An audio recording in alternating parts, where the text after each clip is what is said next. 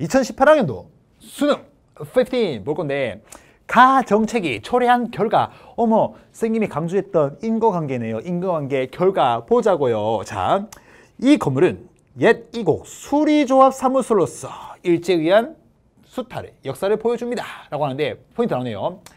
일제는 자국의 식량 부족 문제를 해결하기 위해서 식민지 조선에서 개간, 품종 개량, 대규모 수리조합 창설을 추진하는 가를 실시하였습니다. 그러면 이것은 뭐겠어요? 식량이 부족하니까 조선에서 쌀을 증식해가지고 가져가겠다는 산미 증식 계획임을 알 수가 있겠네요. 산미 증식 계획.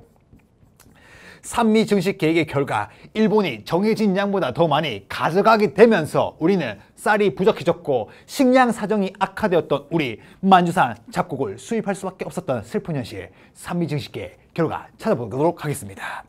메가타의 주도로 화폐 정리 사업이 시행되었다는데 메가타가 파견되었던 이유는 제1차 한일 협약 때문이죠. 그래서 1번은 정답이 될 수 없고요. 회사 설립을 허가제로 규정한 회사령이 공포되었다.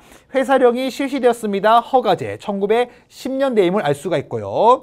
육의전을 제외한 시전 상인의 독점 판매권이 폐지되었습니다. 신의 통공 조선 정조 때 일이고요.